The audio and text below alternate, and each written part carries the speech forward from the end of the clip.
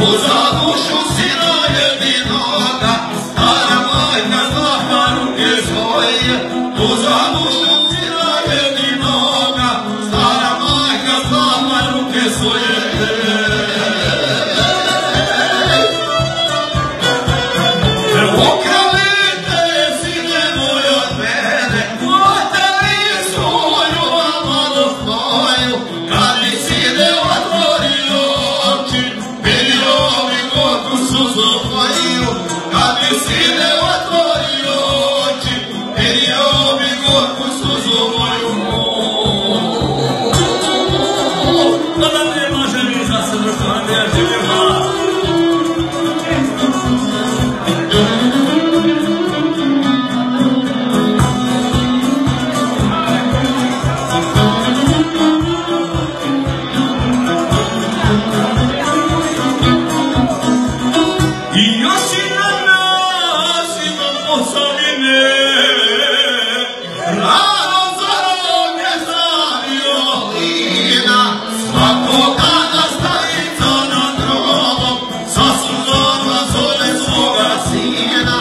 bajo